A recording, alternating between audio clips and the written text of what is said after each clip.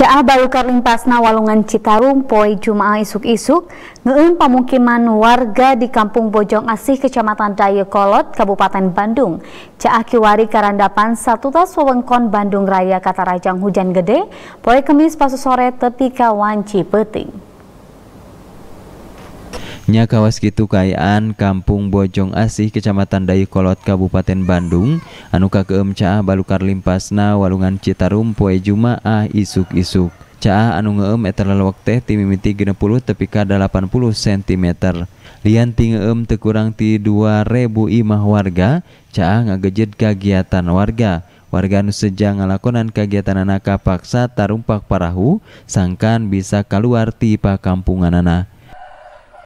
Uh, kondisi banjir saat ini sudah ada penurunan di pagi ini setelah kemarin sore uh, dan malam itu banjir sempat tinggi juga uh, di kisaran 1 meter 10 cm. Kalau sekarang ketinggian tinggal berapa nih? Sekarang ketinggian sekitar tinggal uh, 60 sampai 80 sentian, Pak. Ini aktivitas warga masih terganggu ya, Pak? Aktivitas warga sangat terganggu sekali.